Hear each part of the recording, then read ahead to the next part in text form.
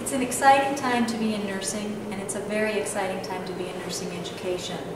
Here at the College of Nursing, the University of Missouri St. Louis, we are implementing the human patient simulators in our nursing curriculum for our undergraduate students as well as our master's prepared students.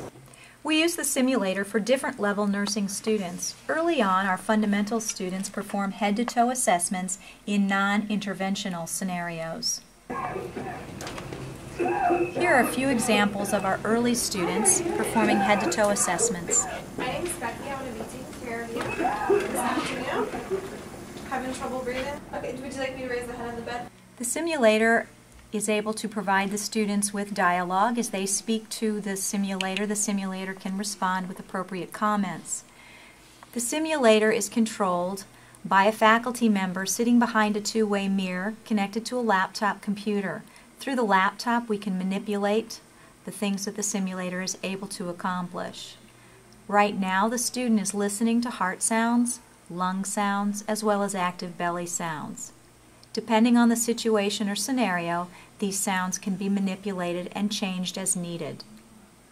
In addition, extra equipment and supplies such as sequentials, TED hose, drains, uh, are applied to the mannequin to make the situation more realistic. The student is given approximately 15 minutes to complete a head-to-toe assessment.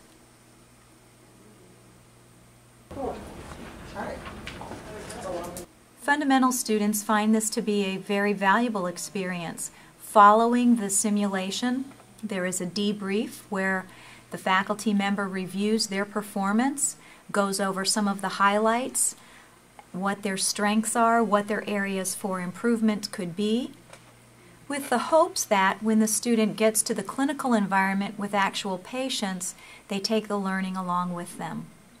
The simulator is equipped with an arm that is active for IV fluids as well as phlebotomy and blood draw, IV push medications. The simulator can also be equipped with different wounds in the belly area, chest tube sites, extremities, based on what the situation calls for, the dressings can be manipulated uh, with uh, through drainage, no drainage.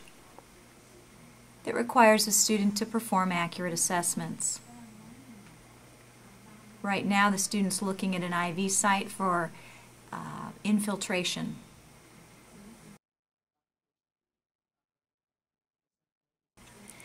The room is equipped with a two-way mirror. This enables the, the faculty member on the other side of the mirror to observe the student.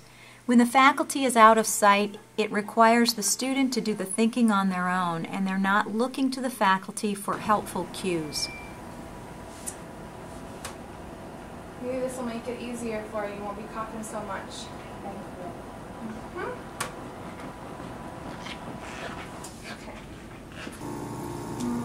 Um, this on your finger real quick.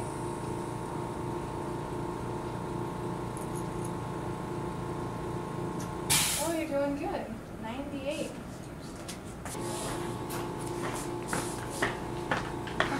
As students progress in the program, they come into the simulation lab for increasingly difficult scenarios. These scenarios are about a 20-minute time block where the student comes in and interacts with the simulator. Based on the level of difficulty, the scenario requires the student to intervene and make clinical decisions. Based on their decisions or lack thereof, the patient may either improve or deteriorate. The good thing about simulation is you can allow a patient to deteriorate and no one gets hurt. In a real situation with a real patient, the clinical instructor is required to intervene, and the student may not learn from that interaction. The faculty member is on the other side of the, the window, watching the student and manipulating the actions of the simulator. Need some help in here.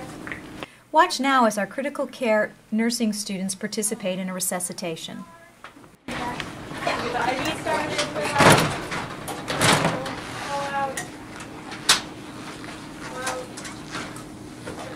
Get the cart. Start CPR.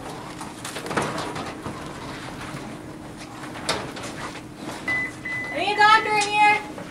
What do we got going on here? Mr. Roberts is 30 eight-year-old male. He came in for a left BKA. He was Smoke over fire. awake overnight, Brown and he middle. came in and he became unresponsive. He had a pulse when I came in. Uh, Okay, did he have a blood clouds pressure? over grass. Okay, let's get an O2 sat, let's see if we can get a blood pressure. Okay, is he have any spontaneous respirations? No. All right, do we have him on the monitor? Working on it. Right. He's got a rhythm, but I don't see a pulse. Let's get CPR, can we have some epinephrine, please? Yeah.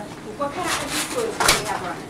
We got normal saline going at 50. All right, let's open that saline up, wide open. Okay. All right. Are we, going to need are we, in? are we perfusing? Are getting any air in? She's at 71. Do we have breath, breath sounds? Uh, pull back a little. Okay. Listen while I'm doing it. Get a BP. No BP, No BP. no respirations, no pulse. Let's keep CPR going. Can we have some epinephrine? Yes. Someone got the fluids running. She's working on it right now. Make sure that tridal is off. No pulse. What's his O2 sat? No O2. Let me check them. Are we getting air? Are we getting air?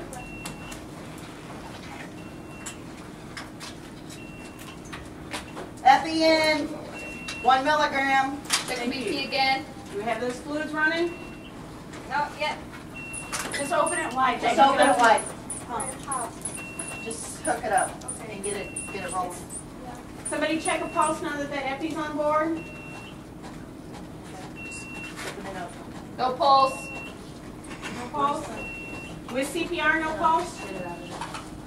Okay, do we need to switch off CPR? She running out of steam?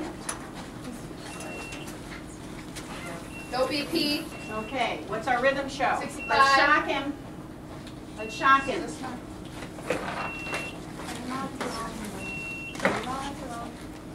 On. I got it. Okay, John. What are we shocking at? 30. Let's get a paddle look first. Okay. Gel, gel. Okay, Charge. charge to twenty. Charge. Looks like we have sinus rhythm maybe. Heart rate 80. Upside down. Are we perfusing it? O2 's 65. What's her pulse? What's her blood pressure? Check that again.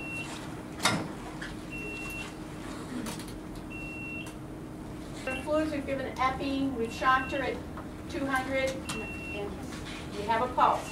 All right, let's get her to the ICU. What's her fluid still running at?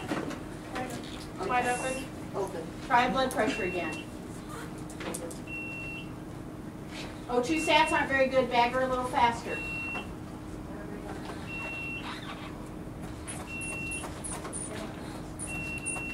Get near? Yeah, good. See that chest rising. O2 sats coming up in the 80s. Keep bagging her. Good.